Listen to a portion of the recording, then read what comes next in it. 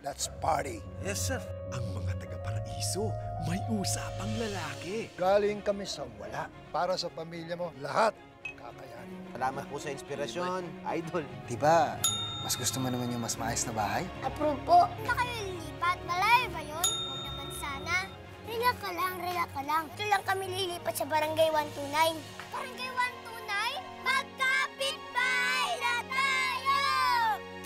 Ningning, bago mag-showtime.